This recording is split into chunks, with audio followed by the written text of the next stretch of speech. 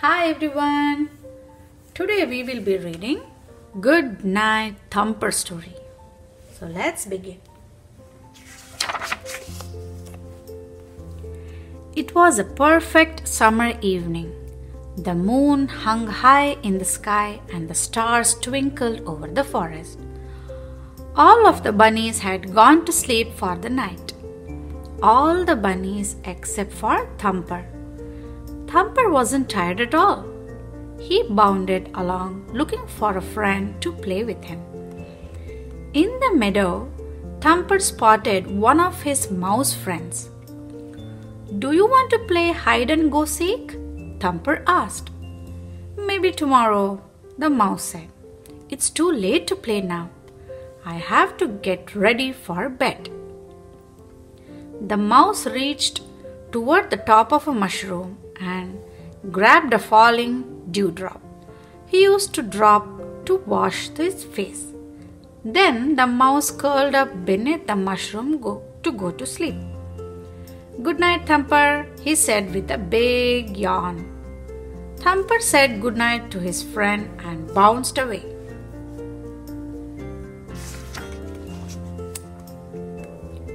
Next, Thumper came to a pond. A mother duck was tucking her three baby ducklings into bed. Can the three ducklings come out to play? Thumper asked.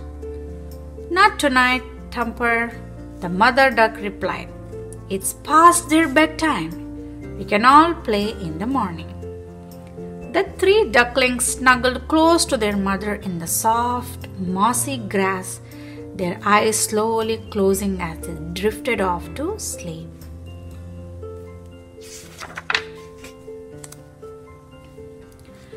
Thumper kept hopping through the forest. Maybe his chipmunk and squirrel friend would want to play. He stopped beneath their tree home and looked up. High above in the branches, the squirrel was sleeping on his back. The chipmunk was also fast asleep, curled up in the squirrel's tail. Thumper sighed. No one wanted to play with him.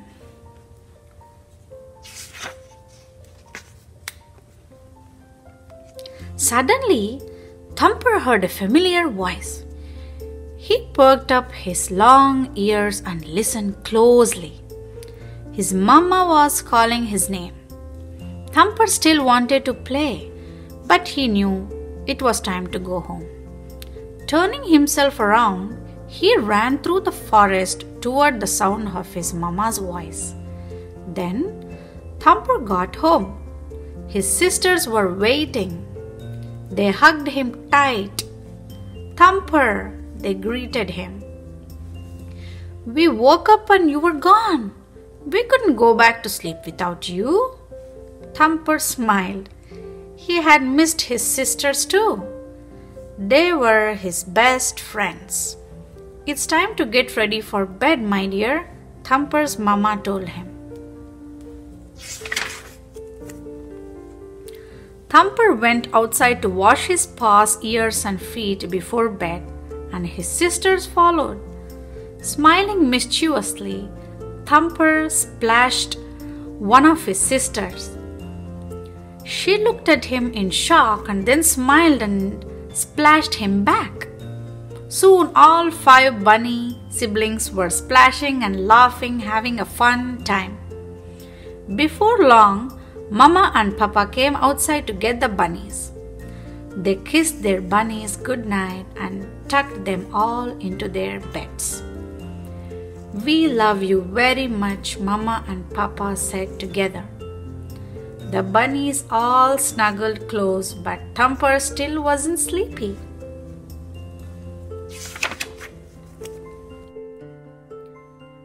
Papa, will you tell us a story? asked Thumper.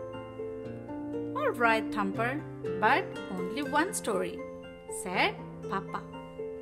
Papa began to tell a story about all the animals that lived in the forest. Thumper listened excitedly, mesmerized by every word. He loved his papa's stories. One by one, the little bunnies drifted off to sleep.